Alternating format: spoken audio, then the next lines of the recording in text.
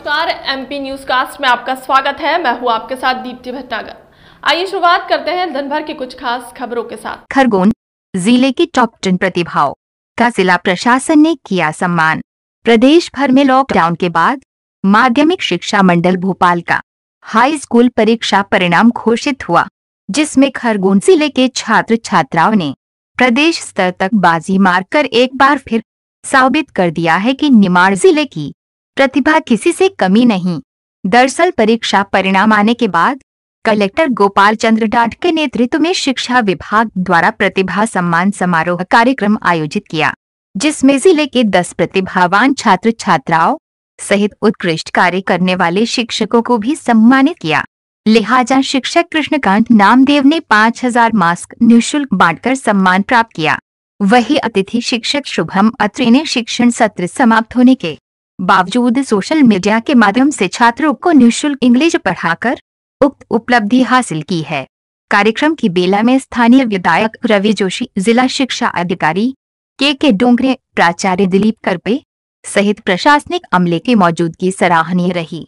इस दौरान मीडिया से रूबरू अतिथि विद्वान शुभम अत्रे ने बताया, निमाड़ के दस प्रतिभाओं को सम्मान मिला जिससे निश्चित तौर पर बच्चों में जन जागृति आएगी और निमाड़ का नाम रोशन होगा। एमपी यूज़ कास्ट जिला खरगोन से प्रमोद गुप्ता की रिपोर्ट। जो है ज़िले में अपने स्थान प्राप्त किए हैं। मैं आमंत्रित करूँगा।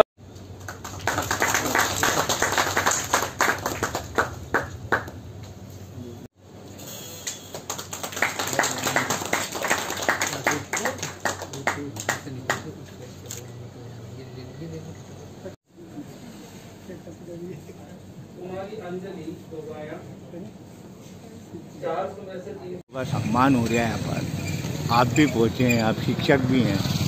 क्या आपका इसमें वो रहा महत्वपूर्ण योगदान? मैं शुभम कुमार अत्रे बलकवाड़ा में गेस्ट टीचर रहा हूँ।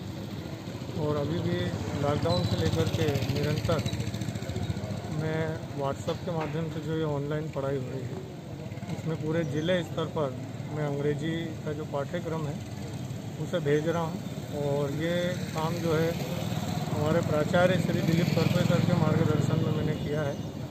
और अभी तक निरंतर 240 high school higher secondary school में अंग्रेज़ी का पाठ्यक्रम मेरे द्वारा भेजा गया है।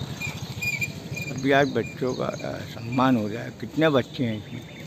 यहाँ पर ज़िले के जो 10 टॉपर बच्चे जो आए हैं उनका सम्मान हुआ क्या नाम है आपका? शुभम कुमार अत्रे